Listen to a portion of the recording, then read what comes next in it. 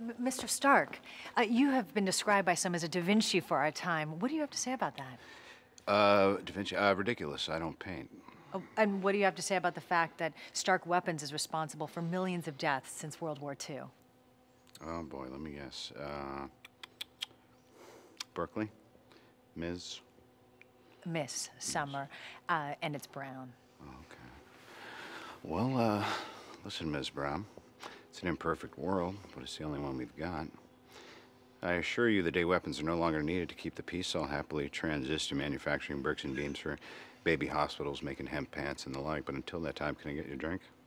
Uh, you rehearse that much? Yeah, every night in front of the mirror before bed. Why? Is it stale? Well, I can picture that. I could show you firsthand. Sorry, I don't laugh at your jokes. I haven't been paid to like all the DoD fat cats in this place, Mr. All Stark. right. Stick around. You'll be on payroll soon enough. Call me Tony. I'm sorry, Tony.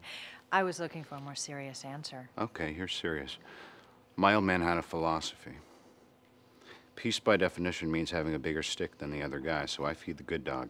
We arm the good guys because you can be sure as shit someone's arming the bad guys. Nice justification coming from the guy selling the sticks. You mean my father? My father, who was commended by FDR for working on the Manhattan Project, who helped defeat the Nazis? Well, others call it war profiteering. This is a rhetorical question, no need for a response. Tell me, do you plan to run any pictures of all the millions that we've saved by advancing medical technology or kept from starvation with our telecrops? Or are you going to ignore all those advances that were spawned from military funding? Wow. Wow, you really have all of this down. You you ever lose an hour of sleep your whole life? I gotta tell you, is that thing wrong?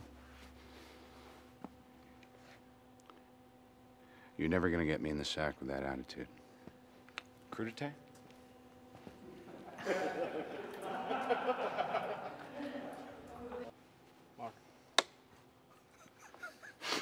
Crazy. Okay. Done. Done. You're still Buckingham Palace. What do we got? What, do I gotta break out the psyops? There it is. There's a smile. It's okay. Yeah, so it's natural. Less, less muscles to smile. Seriously. I gotta hand it to you guys. Every single one of you deserves a medal. I shit you not. Thank you. Mr. Stark. Please call me Tony. I mean, seriously, here you are. You're sweating balls in the desert. You're fighting for our freedom back home. And it's, it's ghastly. The conditions. There's not a woman in sight. I'm a woman. Yes, clearly. Although I, I retract that statement. I'd like to admit that. God, so I wouldn't kid you. Back home, I got them in rotation, like pitchers. What do you got? What do you got? What's getting you through the cold nights, huh? Don't ask, don't tell. Did, Jimmy met a goat. you did. Hey, hey, hey, at- at least it's a girl, okay? You know what? That's that's jealousy. Can you smell that? At least you're a one goat man. It's hard to come by. One goat man. All kidding aside. There's a lot of us doing well back home. We owe a tremendous amount to your sacrifice. I know I'm just a schmuck in the suit who's going to take off in a helicopter in 20 minutes, but it's not much I can do for you, but I'm going to show you a good time. That's something I'm highly decorated for. Good enough. I got something special planned for you boys, girls, back at the base. Great. But there's one condition.